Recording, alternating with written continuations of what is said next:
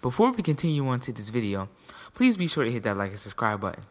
Also, if you would like to help in the construction of building my city, please be sure to donate at gofundme.com slash afroboy. Now enjoy this program.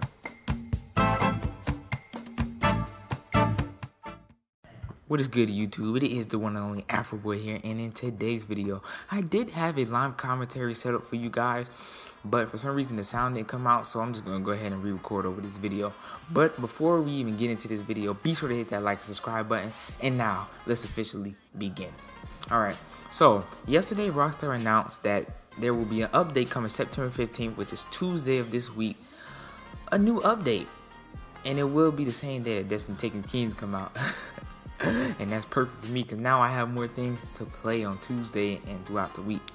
But this update consists of certain things. Now, the biggest thing is that this will only be for next gen. I'm sorry, last gen, but um, I don't know if this will be.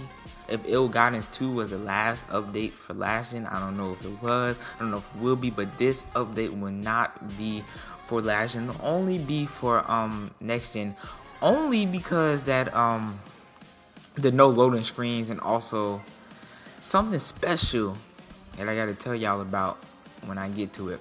But after all that, let's say something else. Alright. Next thing is now let's talk about these game modes here, alright? So the game modes will be in free roam events. So these are free roam events, so you'll be in free roam and boom, it'll pop up. Mm, oh my gosh, oh my gosh, it's a free roam event. Let's go to it. but now there are many of them, but um, they only announced four of them right now. So the biggest ones are King of the Castle.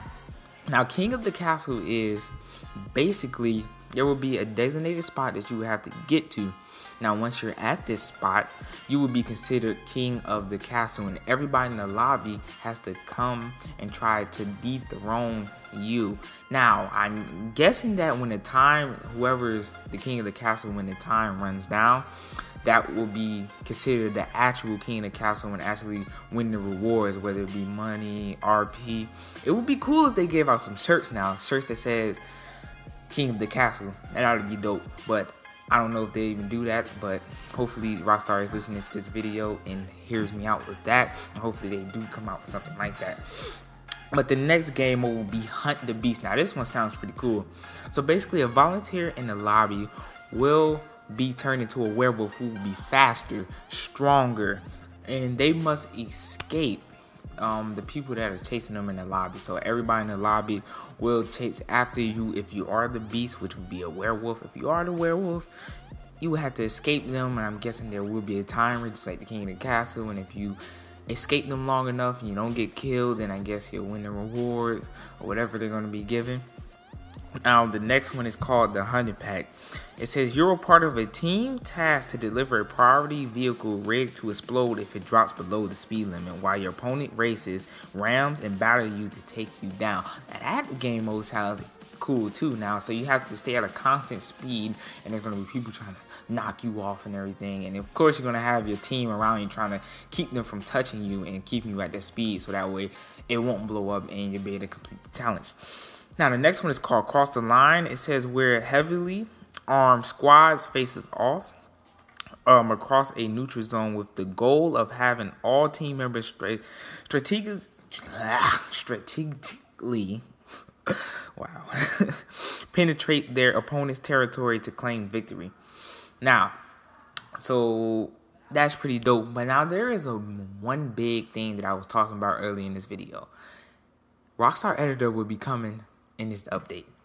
Boom, pow, all that. We talking about PC cinematics. We'll be able we'll be able to record and do all that now on console.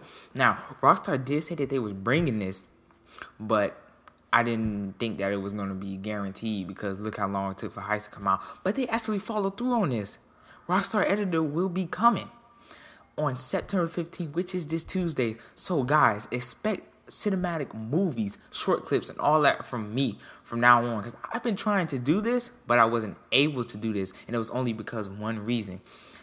I didn't feel like doing all of this recording, chopping, cutting, and all of that. It was going to be so time consuming, it's going to take a long time. But now it is possible to do this within the game without having to upload and send it to different places and get it to my computer and cut it, chop it all out. Now we can just do it on the game. And that'll be awesome. Just like I said, expect that from me. I don't know how long it's gonna take me to get it out, but just expect it.